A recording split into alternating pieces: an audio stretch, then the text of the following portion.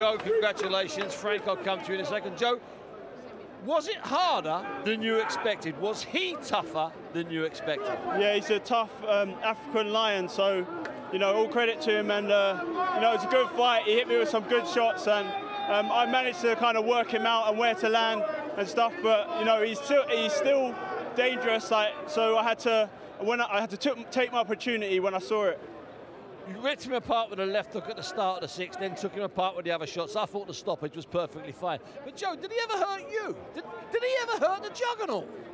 Yeah, I mean, mildly. I'm, I'm pretty tough as they as they come. So, you know, pretty I weathered tough. the storm and fired right back.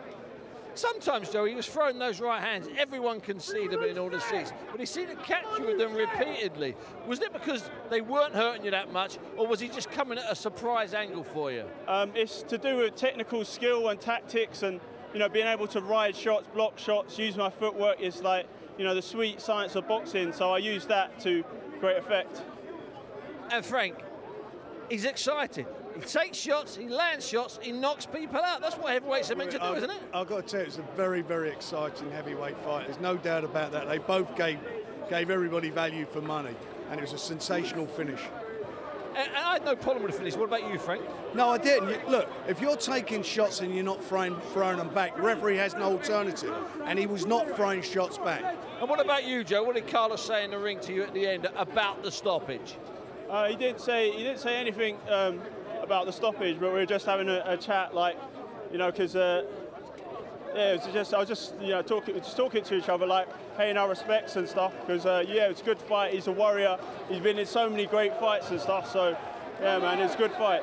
Joe, do you watch back your fights afterwards? Do you watch them back and analyse things that you could have maybe done differently? Is that something that you do, Joe?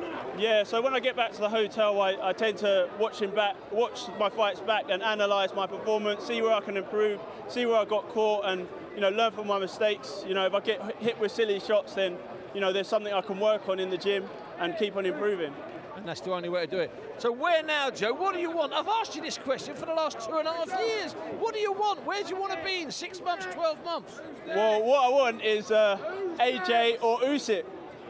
Frank, is it that simple, AJ Usyk? The crowd wants it, he wants it. He's the mandatory challenger, he's number one now and obviously AJ and Usyk again on in September, and then he becomes the mandatory challenger to the winner.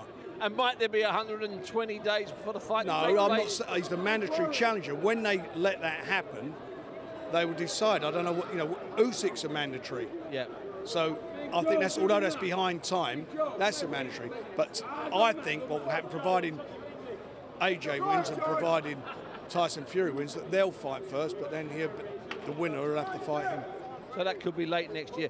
Joe, we'll see what happens. Or if one of them, if the title gets vacated, Joe then he fights. Yeah, that WBO. So.